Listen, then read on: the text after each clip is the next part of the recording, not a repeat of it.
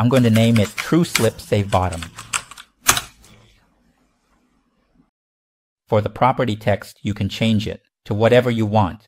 I'll use the word save, then a vertical bar, and then update. So it's basically save or update. For the display style here, choose whatever you prefer. I want it to have both an image and text, meaning it will show both an icon and a label. See? There you go. Next, let's change the image here a little bit.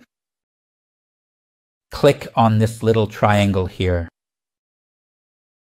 so we can find an icon to add. Select Project Resource File, then click Import. I've already prepared it on my desktop, so I've got the icon ready.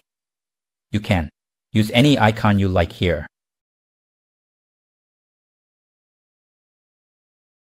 If I want to use this image